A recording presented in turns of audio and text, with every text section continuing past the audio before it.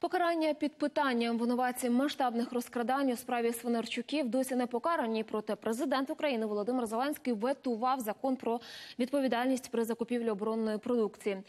Закон передбачав кримінальну відповідальність за розкрадання в оборонці. Його ухвалили ще у 2016-му. Нагадаю, один із найгучніших скандалів у військовій сфері відбувся навколо державного підприємства Укроборонпром, більш відомий як справа Свинарчуків. Журналісти виявили схему розкрадання на сотні мільйонів гривень.